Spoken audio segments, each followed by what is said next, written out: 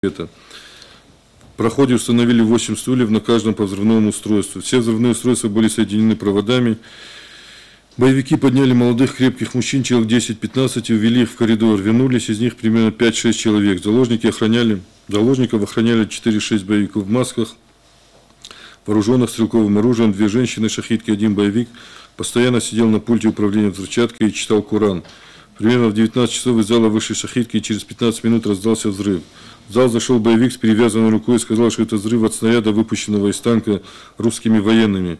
Первый день боевики разрешали ходить в туалет и пить воду. Они говорили, что если будет штурм, то все погибнут. Боевик с перевязанной рукой руководил остальными. В его присутствии они становились более жестокими по отношению к заложникам. Чтобы успокоить плачущих детей, боевики стреляли в потолок.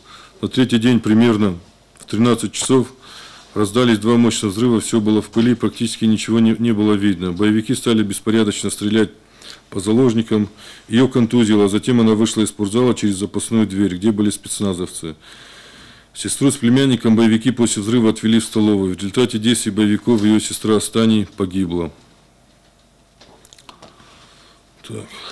Объявляем перерыв до 14 часов. 14 часов продолжаем оглашение приговора.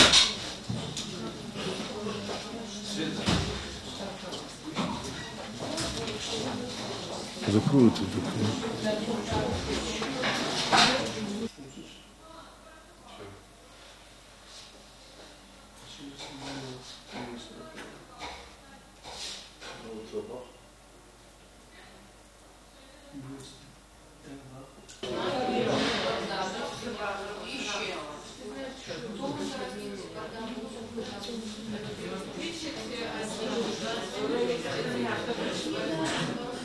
это.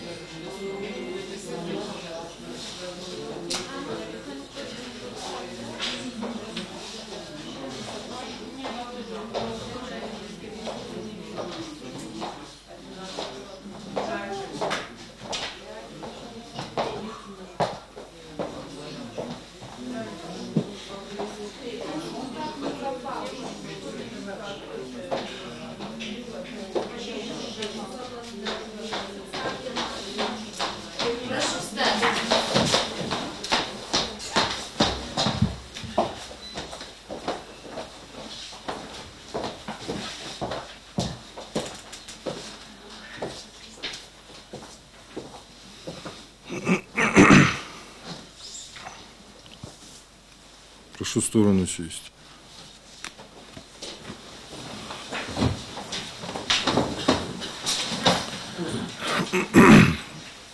Продолжаем оглашение приговора. С показаний совершеннолетнего потерпевшего Хасигова следует, что 1 сентября 2004 года, когда он вместе со своей матерью Арчеговой и младшим братом были на линейке в школе номер один города Беслана, во дворе появились вооруженные люди с автоматами и стали стрелять в воздух. Затем они загнали всех в спортзал, где установили взрывчатку.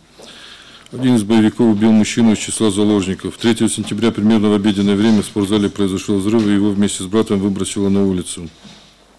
Куда делась его мама, он не знает, так как очнулся в больнице. Из показаний совершеннолетнего потерпевшего Хадикова следует, что 1 сентября 2004 года присутствовал вместе с сестрой Залиной на торжественной линейке в школе номер один города Беслана. В это время раздались выстрелы, и он увидел людей в камуфлированной форме, в масках с автоматами. Боевики загнали его вместе с другими заложниками в спортзал, где он увидел, как двое боевиков вытаскивают труп мужчину. Затем террористы заминировали спортзал, заставили заложников выбросить свои сумки, сотовые телефоны, видеокамеры. 2 сентября боевики запретили заложникам пить воду, есть и ходить в туалет. 3 сентября в обеденное время раздался сильный взрыв, и все люди побежали к выходу. Он также выбежал со школы, его отвезли в детскую больницу города Владикавказа, где встретил свою сестру. Из показаний потерпевшей Хачировой усматривается, что 1 сентября 2004 года она направлялась к своей племяннице Сузановой Мадине в школу номер один города Беслана на праздничную линейку. Примерно в 9 часов 30 минут на улице Коминтерна напротив школы номер один при переходе железнодорожного полотна услышала свист сигнальной ракеты, а затем увидела и саму сигнальную ракету, которую кто-то запустил со стороны школы. Затем услышала выстрелы. После третьего выстрела ей попала пуля в ногу, ранив левое бедро, после чего и стало известно, что боевики захватили школу и взяли детей в заложники. Показаний потерпевшей Цагараевой усматривается, что 1 сентября 2004 года она со своим сыном Цагараевым Георгием находилась в школе номер один города Беслана. Во время проведения линейки на них напали вооруженные мужчины в камуфлированной одежде, которые всех людей загнали в спортзал. В спортзале всем приказали сесть на пол. Один из боевиков по неизвестной причине убил мужчину из числа заложников. Затем они заминировали спортзал и предупредили, что если начнется шторм, они взорвут школу. Среди боевиков были две женщины-шахидки. 3 сентября произошел сильный взрыв, после которого боевики стали ходить по залу, выявляли оставшихся в живых. Она притворилась мертвой, когда боевики ушли из спортзала, ее вынесли сотрудники спецподразделений. Из показаний потерпевшего отцу усматривается, что в результате захвата террористами заложников в школе номер один города Беслана 1 сентября 2004 года погибла его дочь Цой Светлана Сергеевна. Из показаний несовершеннолетней потерпевшей Чеджемовой следует, что 1 сентября 2004 года она вместе со своей матерью пришла в школу номер один города Беслана. Когда они находились во дворе школы, то на них напали террористы и захватили в заложники. После этого их все загнали в спортивный зал школы и удерживали там. На второй сутки она потеряла сознание очнулась, когда уже находилась в больнице. Мать ее погибла в школе. В показании потерпевшего Шавлухова видно, что 1 сентября 2004 года примерно 8 часов 30 минут его мать Хаутова Шавлохова отвела в школу номер один города Беслана в первый класс его сына Шавлохова Алана.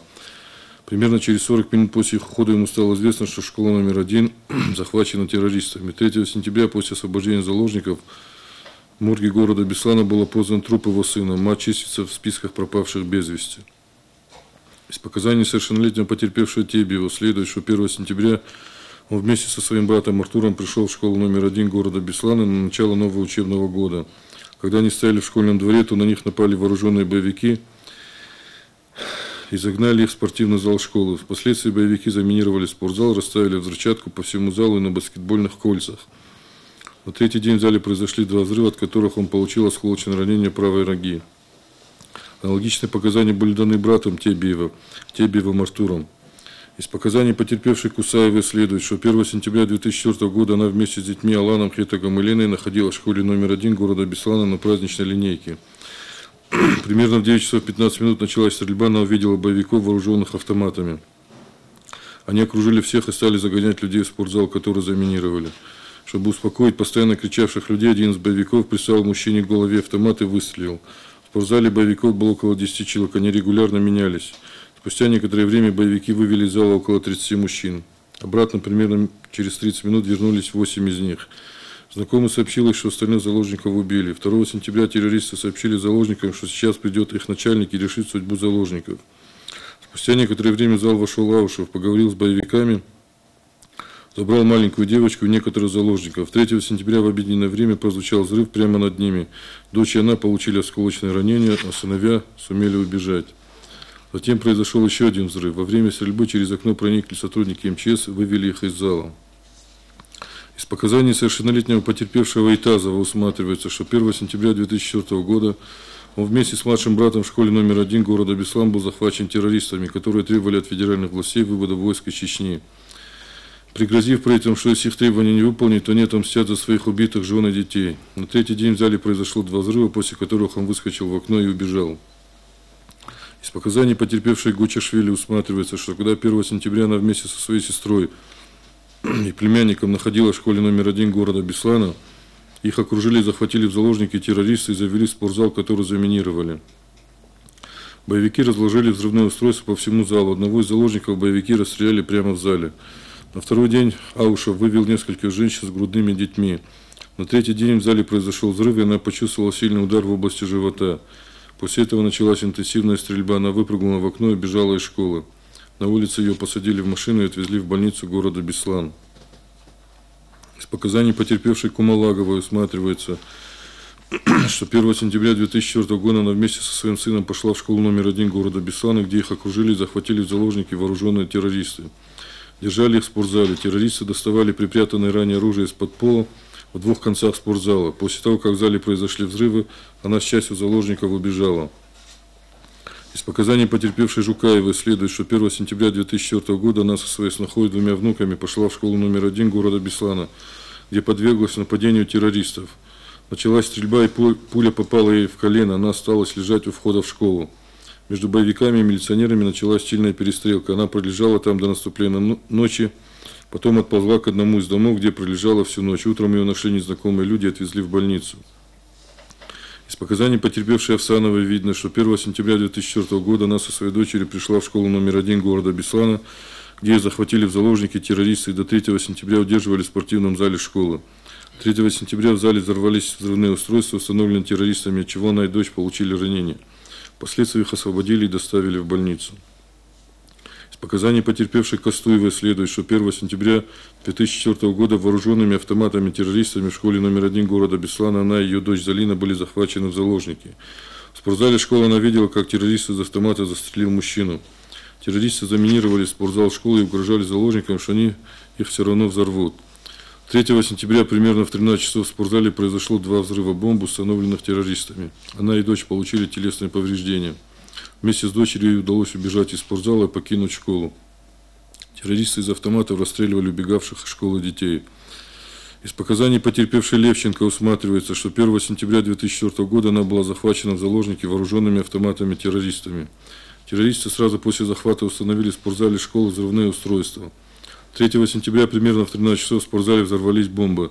Первая бомба взорвалась в баскетбольном кольце, вторая в окна спортзала. От взрыва она получила телесные повреждения. Вместе с оставшимися в живых заложниками выбралась из спортзала и спаслась бегством. Террористы расстреливали убегавших заложников. Из показаний потерпевшей Гапуева видно, что 1 сентября 2004 года, примерно в 9 часов, она со своей дочерью Дзерасой и мужем пошла в школу номер один города Беслана на праздничную линейку. Через некоторое время перед выходом во двор школы она увидела вооруженных людей в камуфлированной форме в количестве трех человек. Испугавшись, она с мужем и дочкой побежали в актовый зал. Однако за ними забежал боевик и приказал идти в спортзал, который был заминирован террористами. 3 сентября в полдень прозвучал взрыв. После взрыва она забежала в подсобку, в которой находился